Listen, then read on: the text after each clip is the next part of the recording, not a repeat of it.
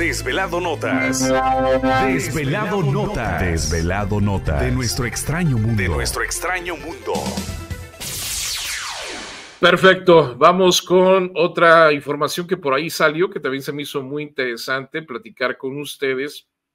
Fíjense que, eh, pues sale que un ex militar eh, comparte una experiencia que él vivió, un sargento de la Fuerza Aérea de los Estados Unidos, pues menciona que se encontró, o se, encontró, no es que lo encontró, sino que se encontró con un, un ovni gigante del tamaño de una tienda Walmart, más o menos, para que tengan una idea, o una tienda, este, ¿qué otra tienda que no sea Walmart?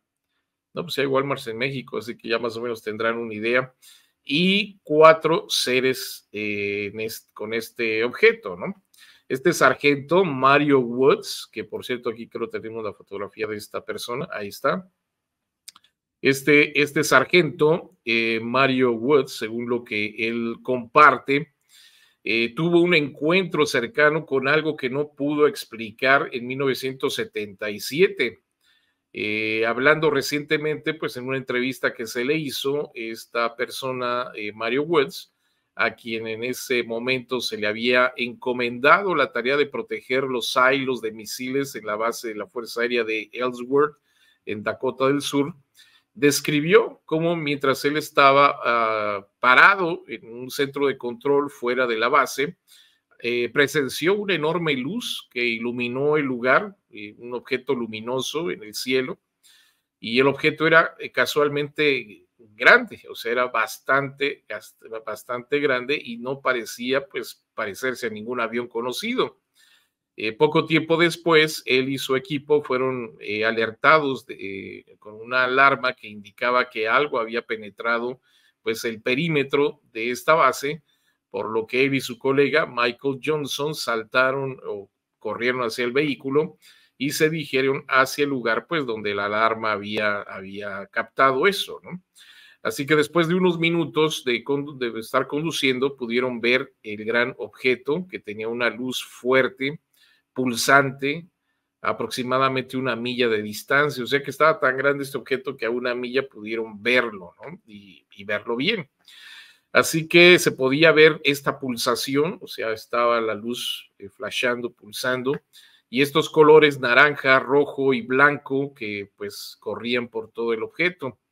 Cuando se acercaron, pudieron ver que el objeto era absolutamente gigantesco, como el tamaño de un edificio de un centro comercial, y tan largo como un portaaviones, imagínense ustedes. Mientras tanto, dice, mientras lo mirábamos, una luz brillante de repente iluminó toda el área y los dos hombres sintieron como si una fuerza extraña e invisible se levantara, eh, los levantara de sus asientos, como un tipo de campo este, gravitacional o campo de fuerza, ¿no? Así que mientras ellos estaban mirando esto, como si esto no fuera suficiente, un extraño objeto pareció, eh, parecido a un dron apareció cerca de ellos. Era como una pelota de cuatro o cinco veces el tamaño de una pelota de playa. Eh, apareció a solo unos centímetros por encima de, la capota de, donde ellos, el vehículo que iban manejando, ¿no? Que me imagino que es una de estas esferas, ¿no? Que vemos en el cielo bastante, que muchos de ustedes nos reportan. Eh, era una de estas esferas encima del vehículo. Eh, eh, dice una pelota de cuatro o cinco veces el tamaño pues, de una pelota de playa apareció encima del auto o del vehículo, recordó este ex militar. Dice la palabra dron o algo así no se usaba cuando pues no teníamos drones, pero parecía ser algún tipo de dron, o sea, un objeto que se movía por sí solo o que alguien lo manejaba a distancia, ¿no? Así que esta cosa salió disparada, este, esta esfera, como una pelota de ping pong, dice, por muy grande que fuera, eh, durante tres o cuatro segundos y de repente salió volando y desapareció. Esto sucedió al, y entonces dice, sucedió algo aún más extraño todavía.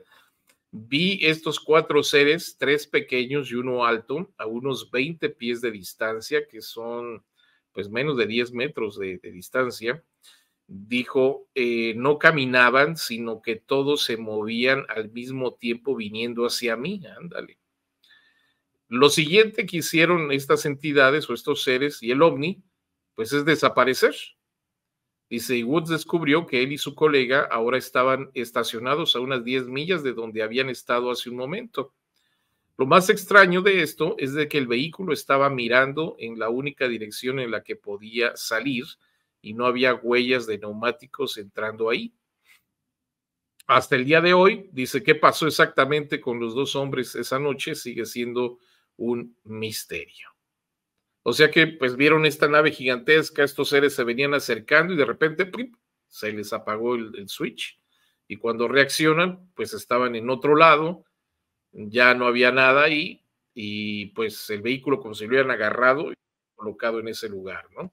Porque no había huellas de que se hubiera movido como regularmente pues se mueve un auto, ¿no? Con las llantas. Entonces, esta es la experiencia que comparte pues este sargento de la Fuerza Aérea de los Estados Unidos de haber visto pues este objeto gigantesco, estos seres en este eh, saliendo de este objeto y que de repente pues simplemente desaparecieron o que pues se le apagó el switch y ya no supo en qué quedó este asunto. Pero de que está interesante la experiencia, está muy interesante. ¿Qué piensan ustedes desvelados? Me, recuerdo lo que platicamos creo el viernes, ¿no? De este senador ahí en Chile, que de igual forma dice él que de repente un viaje que le iba a tomar dos horas, pues le tomó dos segundos, digo dos minutos, ¿no? Que se le detuvo el carro y estaba a 180 millas o 200 kilómetros de distancia de donde iba a ir y de repente en un minuto pues ya estaba casi llegando a donde iba a llegar sin haber movido su auto, bueno, que haber recordado haber manejado toda esa distancia, ¿no? Y llega a suceder cuando las personas son abducidas eh, de repente. Déjenos en comentarios qué piensan de estas experiencias muy interesantes, ustedes que gustan del fenómeno. Los desvelados con Víctor Camacho regresan con más en cuestión de minutos. No te vayas.